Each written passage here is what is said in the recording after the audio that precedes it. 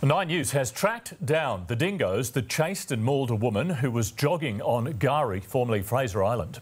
As she recovers in hospital, rangers are keeping watch on the increasingly aggressive native dogs and warning all visitors to carry sticks for their own protection.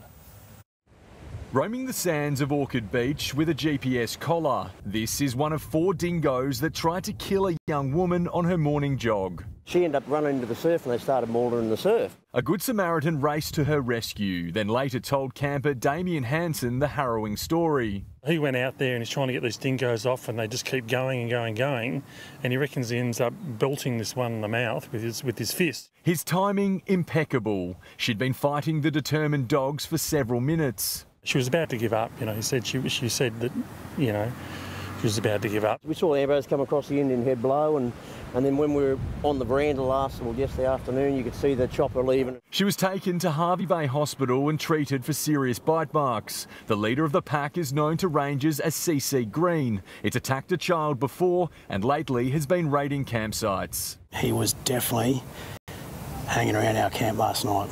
This pack had been harassing fishermen just this morning and showed no fear of us or rangers watching their every move. Authorities are certain this dog is the one that led the attack yesterday, tracing its movements through its GPS tag. Rangers have continued to monitor this dingo throughout the day and if it is decided by Queensland Parks and Wildlife that it does need to be euthanised, they have a blowgun ready to tranquilise it. They've spent the day handing out plastic poles, so-called dingo sticks, and warning people on K'gari to be dingo safe. The dingo approaches you, stick together as a group and don't run.